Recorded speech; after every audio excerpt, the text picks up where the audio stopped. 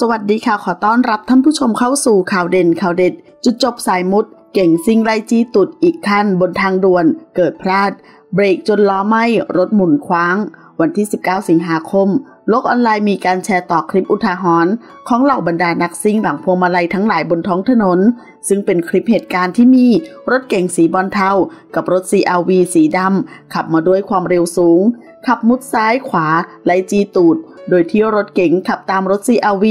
ซึ่งดูจากภาพคล้ายแข่งกันมา และพยายามจะปาดเพื่อแซงคืนแต่สุดท้ายเกิดพลาด รถเก๋งเบรกจนล้อไหม้รถหมุนคว้างบนขอบทางด่วน ซึ่งภาพเหตุการณ์จะเป็นอย่างไรไปชมคลิปกันได้เลยนะคะ ขอขอบคุณข้อมูลจากข่าวสดขอบคุณค่ะเป็นอะไรกันตกกันกับแอปพอร์ตเหรออปพอร์ตเบว่าไหร่